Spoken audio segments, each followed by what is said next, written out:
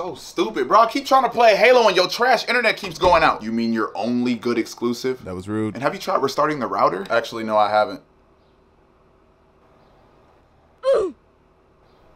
We'll try restarting the router. Ah. And this is my competition? Like, how does one not think to check that? That's like rule number one. Bro, it still ain't working. What's wrong with your router? Well, I don't know what to tell you.